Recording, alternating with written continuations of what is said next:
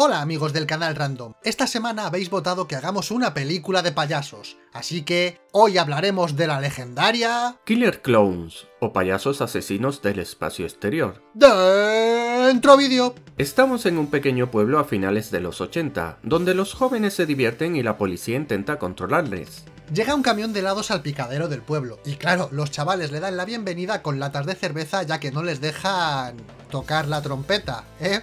Los heladeros están acompañados por dos mozas, y vemos que una de ellas mira fijamente a cámara, ya que estamos que le mande un saludo a la familia, porque además vuelve a mirar otra vez. En fin, que los heladeros se van del picadero. Mike y Debbie estaban mirando las estrellas cuando de repente ven pasar algo volando. También lo ve un borrachín, el cual cree que es un cometa, porque justamente estaba leyendo un libro sobre eso. Vaya hombre, qué casualidad. El gañán sale a buscarlo y se encuentra con la carpa de un circo. Total, que el hombre se acerca con su perro. Aunque podemos ver que el chucho ha cambiado de lugar, eh, pues porque sí, porque los animales hacen en las películas lo que les da la gana. Parece que el borrachín ya se olvidó del cometa, ¿eh? De repente, un payaso atrapa al perro, y el borrachín encuentra su pañuelo. Pero vamos a ver, ¿cómo se le va a caer el pañuelo si el perro lo llevaba perfectamente atado? El viejales le pega un puñetazo a la lona, y tras maldecir se electrocuta por idiota. Lo raro de esta escena es que tras pegar el puñetazo vemos que no tenía nada en las manos, pero luego vemos que tiene el pañuelo en su mano izquierda. En fin, que aparece un payaso y le dispara. Mooney arresta a dos chavales por beber, aunque Dave discute con él por intentar pegarles. Mike y Debbie también salieron en busca del objeto volador, con lo que se encuentra en la carpa en pleno bosque. Vemos que los chavales tienen los brazos por detrás de la espalda, aunque luego están agarrados de la mano. Debbie quiere irse, pero Mike necesita ver la carpa de cerca, así que el chaval encuentra la entrada y pasa. Luego entra Debbie, y... ¿dónde está la linterna? ¿Y cómo es que aparece de nuevo? La pareja encuentra varias puertas y consiguen activar una de ellas. Entonces se dan cuenta de que no están en un circo. Tras otra puerta descubren un almacén de algodón de azúcar, pero al arrancar un trozo se encuentran a... ¡Hola! Soy Samuel L. Jackson. Suscríbete ahora a la iniciativa Canal Random. En realidad se encuentran un cadáver, pero llega un payaso y se esconden mientras ven que hace cosas random con palomitas. El extraterrestre les descubre y los chavales salen huyendo, aunque el payaso les dispara palomitas, las cuales se quedan pegadas en la ropa. Uno de los payasos convierte un globo en un perro que comienza a seguir el rastro de las palomitas, pero Mike los atropella. Se ve que en el espacio no hay dentistas, menudos piños, ¿eh? Total, que la pareja se escapa y se dirige hacia la comisaría. Aunque podemos ver que las palomitas que tenía Mike en el pelo desaparecen, eh, pues porque sí. Una vez en la comisaría cuentan lo ocurrido, pero Mooney se burla de ellos. Payasos asesinos del espacio exterior. Dave es el otro policía y acompaña a la pareja. Mientras tanto, los payasos se dirigen a la ciudad y comienzan a traer a sus víctimas para enfundarlas en algodón de azúcar. Los payasos empiezan a algodonizar a gente random de las formas más absurdas posibles. Resulta que Dave era el novio de Debbie y la lleva a su casa. Luego se va con Mike hacia la carpa, aunque al llegar resulta que esta ha desaparecido y el policía arresta a Mike por trolero. Y ahora a la cárcel, ¡Robanovias! Continuamos con escenas random de payasos. Aquí un motero le rompe el triciclo a uno de ellos y el payaso le deja sin cabeza. Humor inteligente de los 80, ¿eh? Estamos ahora en el Big Top Burger, donde un payaso quiere darle a una niña un martillazo a lo Chapulín Colorado, pero sale mal. ¿Sirve de algo esta escena? Pues no, pero hay que meter metraje de relleno en la película como si se tratara del baile de los 10 minutos. Hay que llegar, que llegar, que llegar, que llegar a los 10 minutos todos. Porque si no YouTube no nos deja poner más anuncios. Bueno, ya hemos llegado, ¿no? Al pasar por la zona del picadero, Dave detiene el coche, y por algún motivo Mike mira a cámara. El policía encuentra algodón de azúcar y unas gafas rotas, así que suelta a Mike y se la enseña. Las gafas, le enseña las gafas.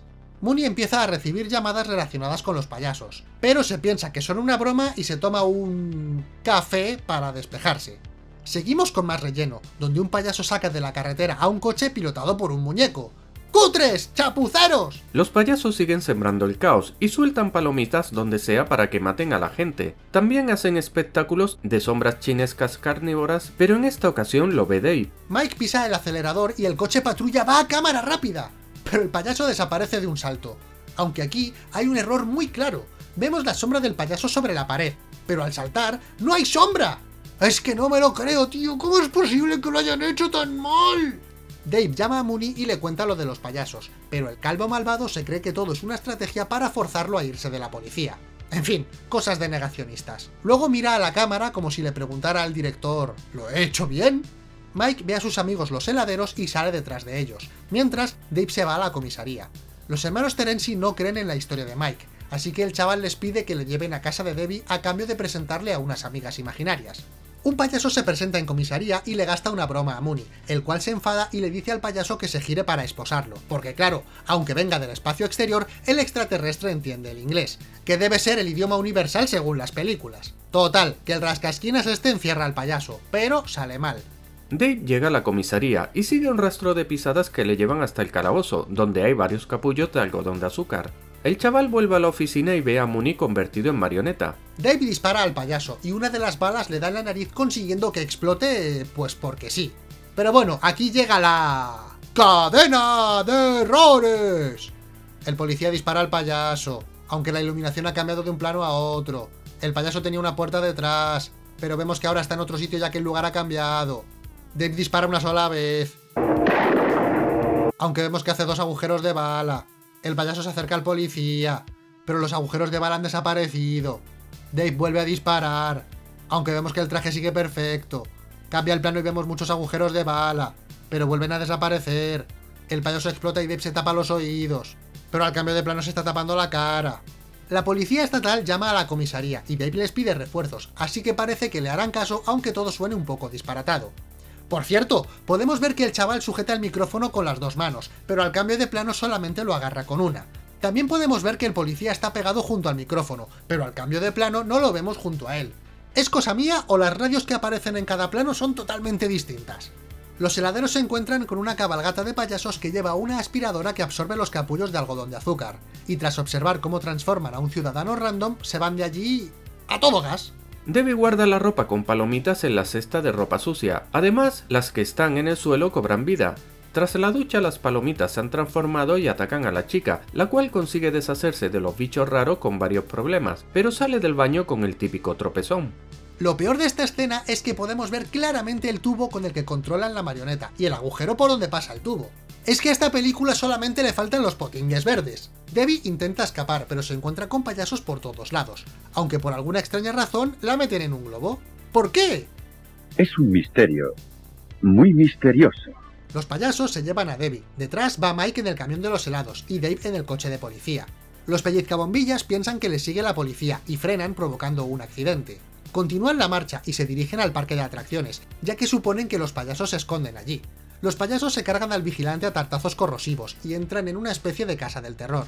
Dave y compañía también pasan y les explica a estos hartos sopas que a los payasos se les puede matar disparándoles a la nariz. Los Terenzi caen a una piscina de bolas, donde les esperan dos payasas. Mike se da cuenta de que están en la carpa y llevan a Dave hasta el almacén para buscar a Debbie. De repente llega un payaso que saca una pajita para alimentarse del algodón con sorpresa y luego se va. Así que aprovechan para liberar a la chica. ¡Ojo a los efectos, eh! El ruido del disparo atrae a los payasos, así que huyen mientras Dave se carga a un par de ellos. Luego bajan por una barra y se encuentran con un Sarlacc de AliExpress.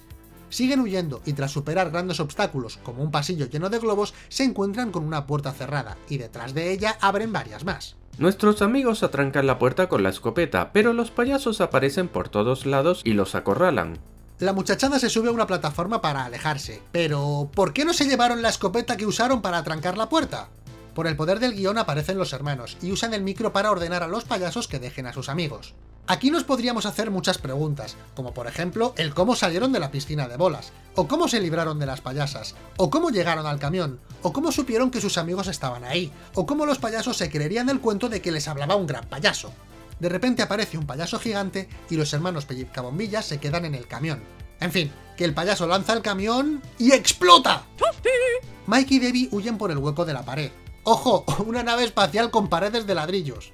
Dave quiere ser un héroe y se enfrenta al payaso gigante con solamente una pistola. Y digo yo, ¿por qué no la usó cuando les rodearon los payasos? El gigante le atrapa, aunque vemos que se nota mucho el muñeco. Mientras tanto, la nave despega. El policía usa el alfiler de su placa para hacer explotar la nariz de payaso. Y sí, vemos claramente que la nariz explota antes de que Dave la pinche. Total, que la nave explota y cae un coche del cual sale Dave, pues porque sí, pero además también están los hermanos, que resulta que no murieron en la explosión porque se escondieron en la nevera de los helados. ¡Claro que sí! Y al final les caen unas tartas, que casualmente esta vez no son corrosivas. Si os gustan las películas de payasos, no te pierdas este vídeo. Pincha aquí para verlo, que es gratis. Dale al like, suscríbete y activa la campana si quieres estar al tanto de nuestros nuevos vídeos. Fin.